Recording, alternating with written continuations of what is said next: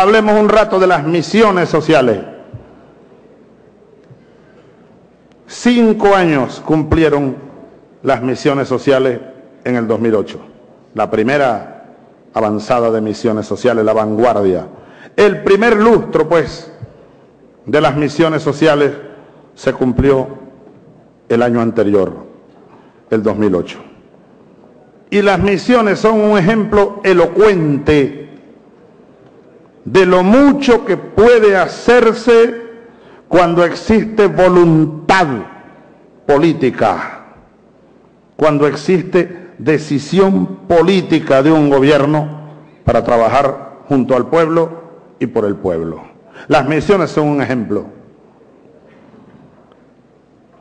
No tienen, si ustedes se ponen a evaluar la historia de este continente, creo que las misiones sociales venezolanas impulsadas por el gobierno revolucionario, por el pueblo, no tienen precedentes en la historia de este continente.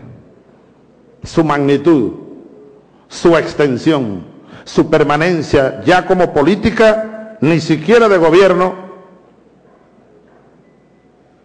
las misiones aquí en Venezuela se han convertido en política de Estado como parte del proceso de transformación integral del Estado, de la sociedad, de la economía, de la nación.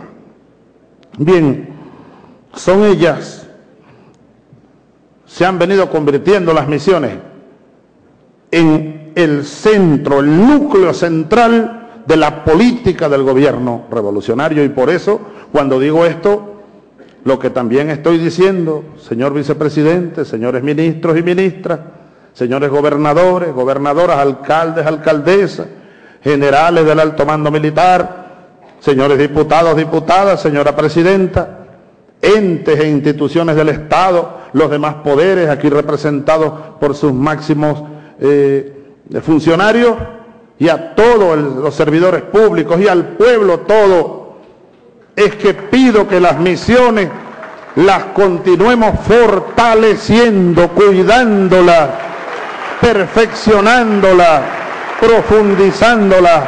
Todas las misiones son alma del proceso social revolucionario. Bien, se requiere para eso un alto grado de creatividad siempre, creatividad para mantenernos siempre en ofensiva misionera